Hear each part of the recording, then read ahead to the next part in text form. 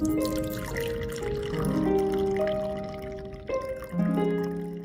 how's it going everyone? Today I have the M1570. This is my new pair of headphones that I bought with my own money. Now, all of my headphones that I review, I own, and if I don't like them, I would simply uh, sell them off. Now, the M1570 is a neutral headphone that seems to do well in everything. The bass is very soft and tightly shaped, the mids are smooth and detailed, and the highs are extended but never sibilant.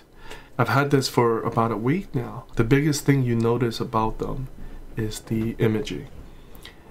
They provide something that's unlike any other headphones that I've experienced. There seems to be this um, enveloping quality where it's it's about here uh, soundstage wise.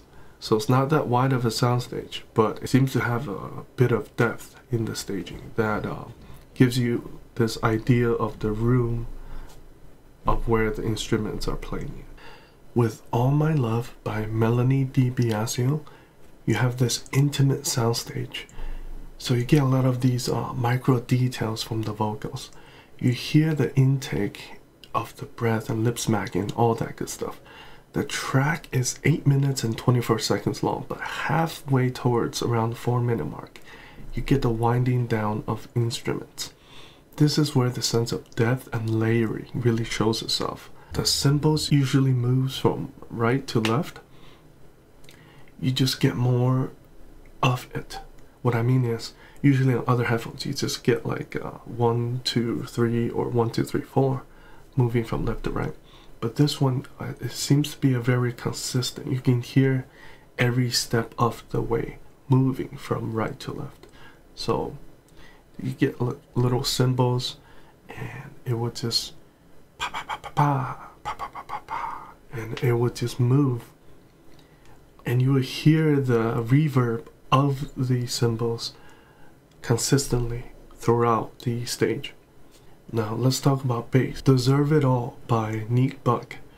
Um, it has this um, two different type of bass or percussions and one of them is like low and far away from you. Another one kind of just is softer bass and hits in the middle. It fizzles out um, in the middle as well. So you get this kind of like this really light um, reverby um, feeling um, and it's like right in the center it's really beautiful that way.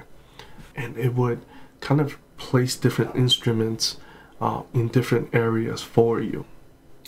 I'll be comparing them to the other monolith headphones as well.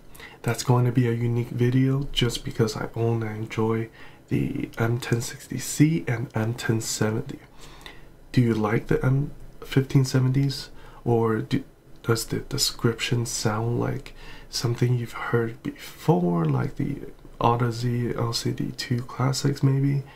Um, let me know in the comments. Thank you. Did you like the video you just watched? Well, there's some more to your left. And if you really liked it, give it a thumbs up. It will really support my channel. Thanks.